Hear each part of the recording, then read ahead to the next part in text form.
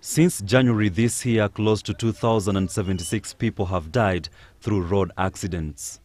Boda Boda or motorcycle taxis have contributed the biggest number of these deaths, says Traffic Commandant Benson Kibui. When a motorcyclist die, you see, even the passenger that he's, he is carrying, he's also injured. Also, we have experienced some fatalities. So, so what am I saying? I'm saying that as at now, we have lost 2,076 people on our roads.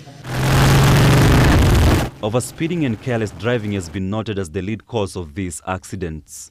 More so, the motorcyclists, whereby we have lost so many of them 199 motorcyclists, boda boda operators, because they don't put on helmet. Just a simple and a very important gadget. Helmet.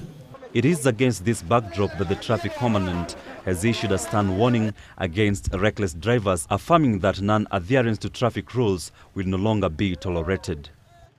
So it's upon us, everybody, to ensure that we just be cool. We follow the, the law pertaining to traffic. Jojo Kachi, GBS News.